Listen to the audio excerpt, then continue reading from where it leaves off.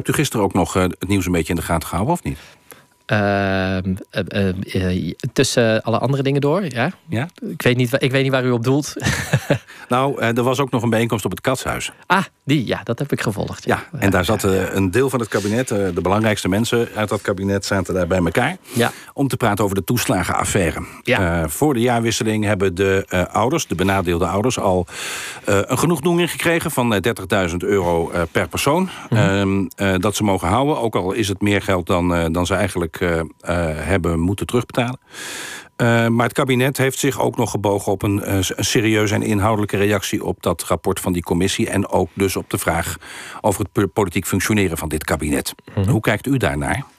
Nou, alle, twee zaken. Eén, ik ben blij dat er uh, voor de kerst in ieder geval voor is gezorgd dat er nu direct geld beschikbaar komt. Dat was voor ons een belangrijke voorwaarde. Eerst mhm. deze ouders helpen. Ja. Nu stap twee. Kijk, dit is niet een probleem in de uitvoering, zou ik willen zeggen. Wat er nu is gebeurd met deze ouders die toeslag hebben ontvangen, dat onterecht hebben moeten terugbetalen, dat is eigenlijk het falen van, van een systeem. En het is een, het falen van, van een ideologie die de, nou, is begonnen in 2000, uh, 2003 onder uh, Mark Rutte als staatssecretaris van Sociale Zaken. En die die de afgelopen tien jaar als premier heeft geperfectioneerd.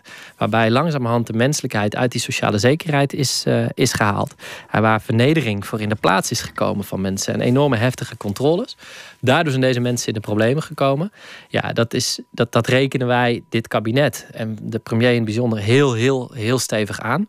En daar zullen wij als fractie ons deze week over beraden wat dat ook betekent in politieke zin. Ja, daar hebt u vast wel over nagedacht. Overigens was Rutte niet verantwoordelijk voor het opzetten van dat alles of niks ehm, systeem bij de toeslagenaffaire. Want dat kwam pas eh, toen hij geen staatssecretaris meer was. Toen was hij inmiddels premier. Nee, zeker. Uh, ik, maar je, ik had het over de ideologie waar hij voor staat. Hè. Ook als staatssecretaris uh, is hij eerder al veroordeeld ook omdat heeft de rechter zich tegen hem uitgesproken, omdat hij hele groepen wilde etnisch, etnisch profileren deed. Toen zei hij, nou, als dat niet mag volgens de wet nu, dan moeten we die wet maar aanpassen. Dat is mhm. gekomen toen hij premier wordt. Toen zijn de mhm. wetten aangepast. Je mhm. ziet ook in het toeslagendossier dat daar etnisch is geprofileerd. Dat er sprake was van institutioneel racisme.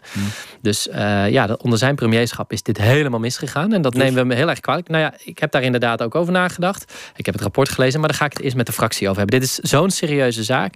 Uh, dit gaan we als fractie eerst met elkaar bespreken. En dat zullen we deze week doen. Ja,